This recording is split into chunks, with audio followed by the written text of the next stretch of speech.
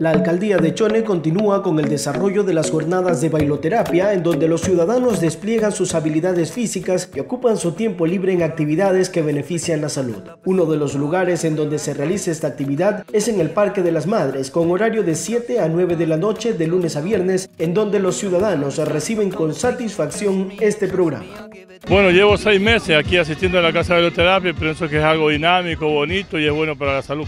Practicamos lo que es bailoterapia, practicamos lo que es ejercicio, lo que es dinámica de grupo, a compenetrar y a demostrar que la salud es vida. Me ha ido muy bien. Yo estaba en 68 kilos, en la actualidad tengo, tengo 60 kilos. Bueno, pues eh, variar el ropero fue lo primero que tuve que hacer porque perdí ya dos tallas en toda mi ropa.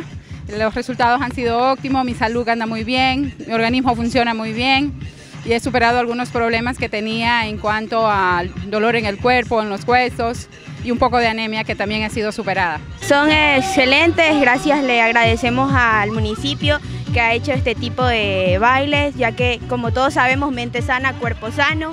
Eh, les invitamos aquí a toda la ciudadanía que venga a ejercitarse.